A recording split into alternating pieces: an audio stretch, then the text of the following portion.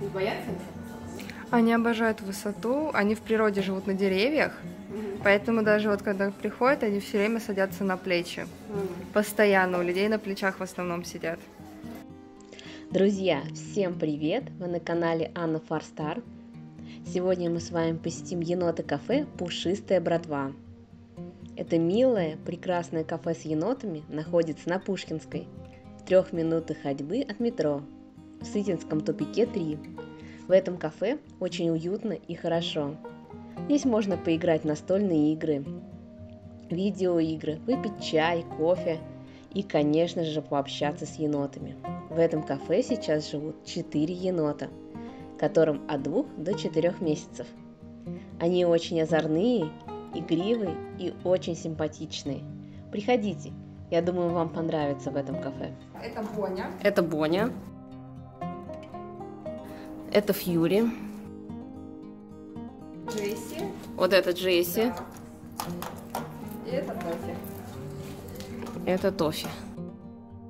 А здесь четыре енота, да? Все девочки, да? А сколько им? Ну, то есть две, три с лишним уже и две, два с лишним месяца. А откуда они вообще? Как они? Питомника берем. А они уже контактные там, да, в питомнике? А, не то чтобы контактные, но за ними, в принципе, наблюдают люди уже, понятное дело, рождаются, специально выводят матери три недели, специально вот для того, чтобы они были ручными. Появляется в три недели уже зрение, не в состоянии сами как ну, двигаться уже более-менее. Вот, если забрать енота, допустим, месяца два, он уже не будет ручным. Можно, конечно, но на это уйдет очень много времени, то есть вплоть там до года и больше. Потому что иначе он будет агрессивный. До двух месяцев, получается. Да. Ну вот желательно это три недели, максимум там месяц и неделю, что-то в этом роде, потому что иначе это будет очень сложно сделать его ручным. Брали их в трехнедельном возрасте как раз таки мы их выкармливали из бутылочек сами, и туалетом элементарно водили, потому что они часами не могли. Вот. А как давно это кафе открыли? С 9 апреля работаем.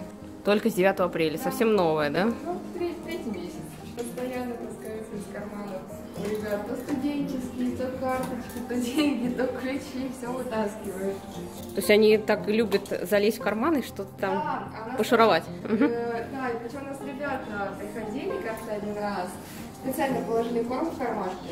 Они так, ну вот после этого они начали, у всех корм ищут.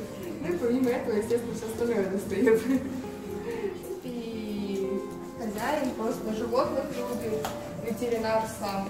Поэтому Как Ветеринар, да? да, и бизнес свой, считай, и при этом с животными любимое дело. Вода специально стоит для того, чтобы они таки лапки мыли. Типа мы ставим по вечерам, чтобы они тоже там как-то покупались, не покупались. А, они туда прям с радостью тоже прыгают. А, а именно когда ведем сами купать их, то начинается веселье. Ну, сопротивляются как бы. Да? То есть если их э, не по их воле, да, ну то Да, есть э, да. купать, они не очень это жалуют, да? Да, и опять же, если с детства их не приучить, вот потому что купаться надо, купать их именно самими. А дома вот таких содержать стоит или не стоит? Или они все-таки нанесут разруху дому? Нанесут такой разгром, то есть э, элементарно нет никого у нас гостей, им скучно становится, они начинают носиться. За 15 минут комната. Тут такой просто погром. Это вообще. Это я бы не завела дома енота, потому что это, это маленький ребенок всю жизнь. Вот По мозгам как трехлетний ребенок. Тем более, что для них нужно много места выделять, э, вплоть там до целой комнаты, если это дома. Потому что энергии много, ее надо куда-то девать, пространства нужно много. Там не как собака, да, которая бегает по всей квартире, но она спокойно ляжет где-нибудь в уголке и будет спать. С ними такое не пройдет. Они днем маленькие были, часто спали, а сейчас подросли, могут за ним вообще не лечь спать. Или максимум там минут на 20, все им хватает. Все остальное время они играются, носятся как-то, чем-то всегда заняты. Живут сколько они, получается, вообще? А, в неволе 15, ну там 20 иногда лет, а в дикой природе не больше 10 обычно. Это опять же внешние факторы какие-то, заболевания, питание. Тут-то за ними смотрят и кормят, как и лечат, все прививки делают. А там нет такого. Конкуренция у них какая-то есть там за еду, там еще Да, за что-то? На самом деле есть, потому что вот мы даже кормим, они сразу начинают защищать еду. А, Если даже вы там э, одно дело с руки кормите, они не будут никак на вас агрессировать. Если положить рядом на пол и попытаться их как-то потрогать, ну прям взять, допустим, да, то они начнут сразу защищать еду, они начнут кричать, они даже способны там наброситься как не конечно сильно, но показать это, по крайней мере. Моя не так. С руки даем спокойно, если в миску тоже положить, все, это и корм, не, ну, не я подходит к животному, он будет защищать. В принципе, так со всеми. Дома, допустим, собака, если она кушает, я начинаю там подходить, так что ее тоже трогать, она, в принципе, тоже начинает свою пищу защищать. Также они между собой, э, там один ест, и другой начинает подходить к его кучке, хотя не знаю, а сразу тоже начинает рычать на него. Поэтому в этом плане да. А они так кусают друг друга прям конкретно или Нет, так? ну, иг- Нет, они только играются. Даже за еду, в принципе, не способны там какие-то серьезные Нет, там травмы. нет.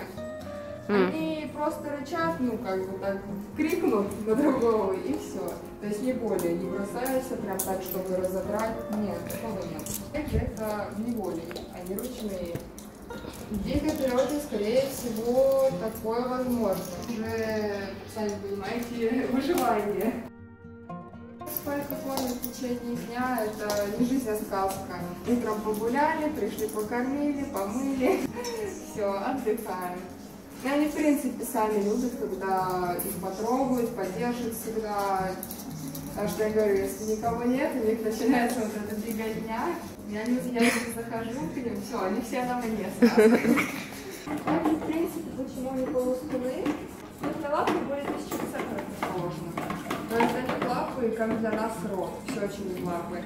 А в воде у них э, вот эти чувства еще более усиливаются, прям, ну, нравится им, приятно, так скажем. Они любят все полоскать.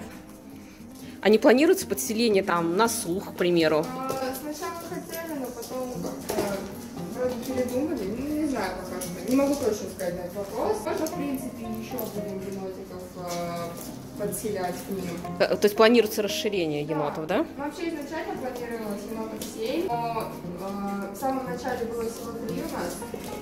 Потом вот еще одного взяли. Просто проблема в том, что это опять же не кошки. Это дикое животное. Его нужно приучить, его нужно воспитать, э, рукам приучить. С кошкой там взять проще. И здесь же, если взять сразу семь там, енотов, ну как бы представляете, что здесь было бы, потому что невозможно всех сразу приучить к этому. И в принципе воспитать тоже было бы сложно очень. Друзья, всем спасибо за просмотр. Ставьте лайки, пишите комментарии и до новых встреч!